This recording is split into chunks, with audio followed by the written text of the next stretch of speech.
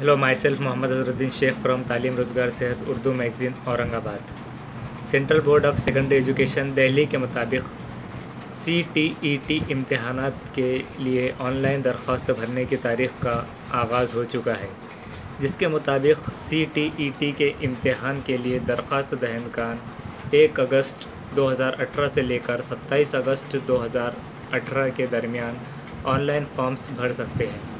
ये इम्तहानात नेशनल सतह पर तकरीबन बयानवे शहरों में होगा और इसी के साथ साथ ये मुख्तलिफ़ बीस ज़ुबानों में इम्तहान दिया दिया जा सकता है।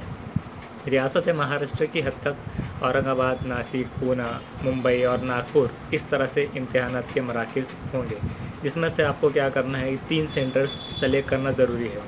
तो आप इस, इन्हीं सेंटर्स में से आप महाराष्ट्र की हद तक सेलेक्ट कर सकते हैं। आपको भीड़ जालना, इस तरह से कोई सहूलियात नहीं मिलेगी। तो ये चीज़ आप जहन में रखिए।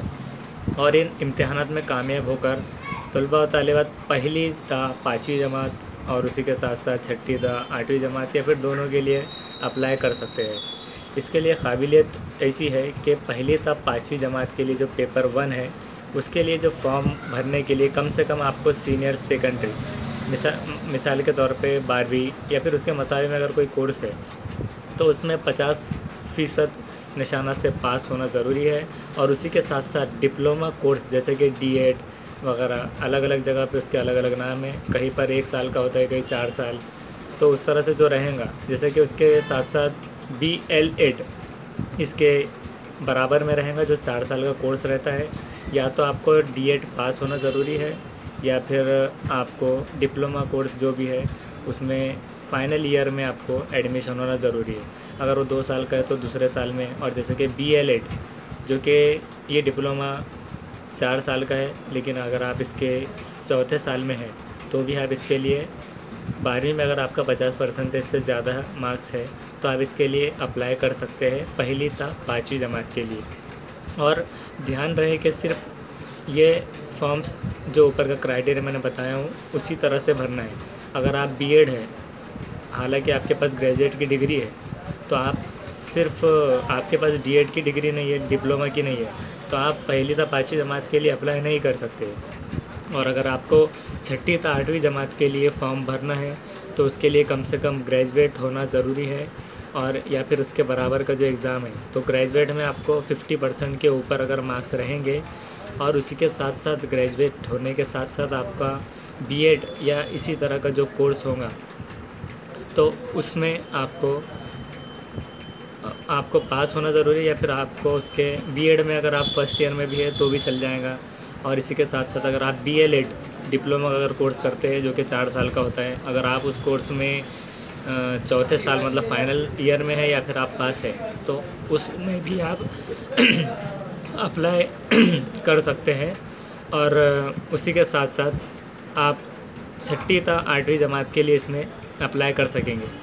लेकिन ध्यान रहे कि सिर्फ़ डीएड पास वाले हजरात जिनके पास ग्रेजुएशन नहीं किया जिन्होंने और ग्रेजुएशन ना होने की बेस पर वो छठी ता आठवीं जमात के लिए फॉर्म नहीं भर सकेंगे। तो इन चीज़ों का ख्याल रखिए और इसी के साथ साथ एन के ज़रिए पास होने वाले हजरात के लिए 50 परसेंट के बजाय 45 परसेंट पे उनका चल जाएगा। अगर वो एन के ज़रिए अगर कोई डिप्लोमा उन्होंने किया है या फिर अगर वो ग्रेजुएट उसके थ्रू कर रहे हैं, या फिर अगर आपके पास किसी तलबा तालिबात में अगर S T S C caste इस तरह से अगर कोई कास्ट है तो वो लोग भी इस तरह के फॉर्म्स में पाँच परसेंट का उनको बेनिफिट मिलेंगे, वो फोर्टी फाइव परसेंट के क्राइटेरिया पे भी अप्लाई कर सकेंगे।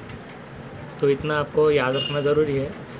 और उसी के साथ साथ अगर आपके पास दोनों भी एबिलिटी है, यानी कि अगर आप ग्रेजुएट भी है, उसमें फ़िफ्टी परसेंट से भी पास हुए, दसवीं, बारहवीं में भी आपका फ़िफ्टी परसेंट से अच्छा पासिंग है, और आप डी भी पास है और आप बी भी पास है, या फिर इस तरह के जो डिग्रीज मैंने बताया हो बी एल एड जैसे कि जो डिप्लोमा कोर्स है, वो अगर आप फाइनल ईयर में भी है, या फिर अगर आप पास भी है तो इस तरह का अगर आप दोनों क्राइटेरिया में फ़िट हो रहे हैं तो उस सूरत में आप दोनों एग्ज़ाम के लिए कॉली अप्लाई कर सकते हैं, और इसके लिए किसी किस्म के दस्तावेज़ात का स्पेशल अपलोड करना ज़रूरी नहीं है, सिर्फ़ आपकी फ़ोटो लगेंगी और दस्तखत लगेंगी।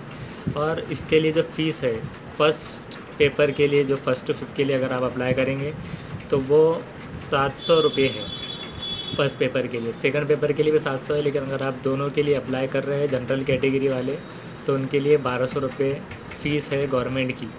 और उसी के साथ साथ अगर आपका अगर कोई कैटेगरी है एस सी एस टी वगैरह इस तरह से तो या फिर डिफरेंट एबल पर्सनस है तो इस तरह से जो तलबा तलबात रहेंगे। उनके लिए तीन सौ रुपये, तीन सौ पचास रुपये फ़र्स्ट पेपर या सेकंड पेपर के लिए है। और अगर वो दोनों देना चाहें तो छः सौ रुपये में उनका दोनों हो जाएगा। इम्तहान का वक्त आपको तकरीबन ढाई घंटे का रहेगा। मतलब वो सुबह में साढ़े नौ बजे से लेकर जो है तो बारह बजे तक रहेगा ढाई घंटे का। फ़र्स्ट पे, फ़र्स्ट पेपर जो है तो दो बजे से लेकर साढ़े चार बजे तक का रहेगा। मतलब फ़र्स्ट पेपर बाद में है और सेकंड पेपर पहले है। और इसी के साथ साथ आपको डेढ़ घंटा पहले वो बुलाएँगे, जिसमें आपका ओरिजिनल डॉक्यूमेंट आपको साथ रखना ज़रूरी है। आधार कार्ड की ज़रा पैन कार्ड की या पासपोर्ट वगैरह जो भी है, यहाँ से दूर जाने के बाद अगर आप उनको सॉफ्ट कॉपी वगैरह बताएँगे तो वो आपको रिजेक्ट भी कर सकते हैं एग्ज़ाम हॉल में। तो इसलिए आपको ओरिजिनल डॉक्यूमेंट्स वहाँ पर साथ में ले जाना ज़रूरी है। और सर्टिफिकेट जो इसमें रहेगा, जिन हजरात को 60 परसेंट से ज़्यादा इसके अंदर मार्क्स हासिल होंगे तो उन लोगों को सर्टिफिकेट मिलेगा सिर्फ़ और अगर आपका सर्टिफिकेट खो भी आता है तो आप उसको नॉमिनल चार्ज 200 250 जो भी रहेगा, उसको देकर डुप्लीकेट सर्टिफिकेट मंगवा सकते हैं।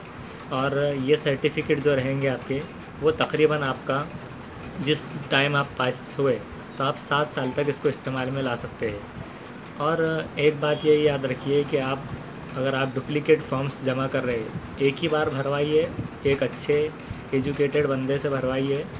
और अगर आप बार बार फॉर्म भरवाएँगे किसी से तो अगर आपके नाम पर एक से ज़ायद अगर अप्लीकेशन मिलते हैं गवर्नमेंट को तो वो आपका रजिस्ट्रेशन इम्तहान भी ब्लॉक कर देंगे। आपके पैसे भी वापस मिलने की आपको तो नहीं रहेंगी और अगले आने वाले आइंदा एग्ज़ाम में सी टी टी के थ्रू जो रहेंगे तो आप में, आपको उसमें भी ब्लॉक कर दिया जाएगा। और अगर आपने पहले कोई सी टी टी के एग्ज़ाम दिए हैं तो उसका रोल नंबर भी लेकर वहाँ पर जा सकते हैं फॉर्म भरने वालों के पास।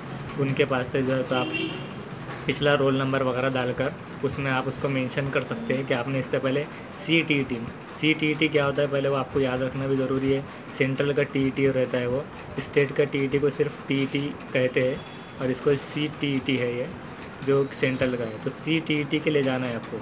आप वहाँ जाकर उसको टी टी का बताएँगे, वो एक्सेप्ट नहीं करेगा। तो उस तरह से वो चीज़ें नहीं करना है आपको। पेशेंटली काम कीजिए और एजुकेटेड लोगों से ही भरवाइए फॉर्म वरना अगर आपका करेक्शन वगैरह होता है तो फिर बाद में आगे जाके आपको तकलीफ़ हो सकती है।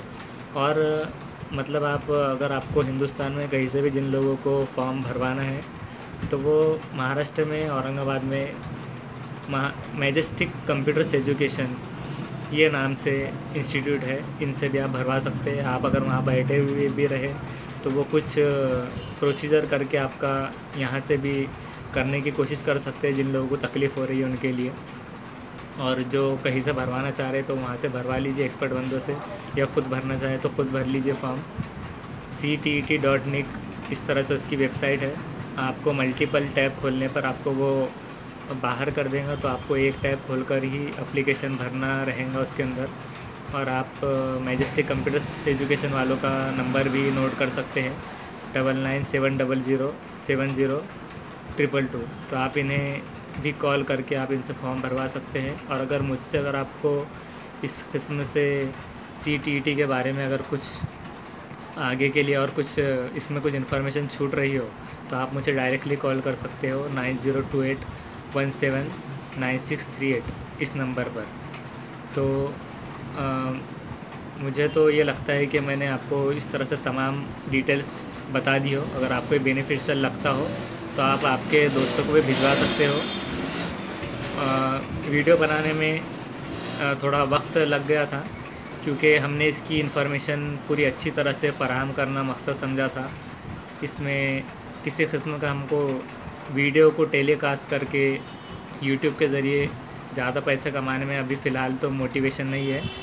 अलबत्त आपकी गाइडलाइंस अगर आपके ज़रिए बस आप दुआ में याद रख सकते हो तो वो कीजिए। बाकी T T T T, C, T T TET वगैरह के ज़रिए भी अगर आपको किसी किस्म की इंफॉर्मेशन चाहिए तो आप मुझे कॉल कर सकते हो।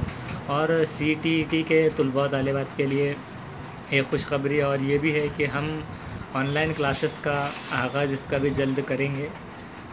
सत्ताईस अगस्त के बाद या फिर उससे पहले जैसे भी मुनासिब हो, लेकिन सत्ताईस अगस्त तक इसके लिए इंक्वायरी ना कीजिए। आप पच्चीस अगस्त तक थोड़ा इंतज़ार कीजिए।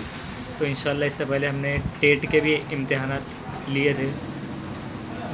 टेट के इम्तहान का मतलब जो स्टडी मटेरियल वगैरह था वो ऑनलाइन प्रोवाइड किया था। तो महाराष्ट्र से तकरीबन मुंबई, नासिक, मालेगांव इस तरह से लोगों ने घर पर बैठकर पढ़ाई भी की थी और फीडबैक भी उनके अच्छे मिले।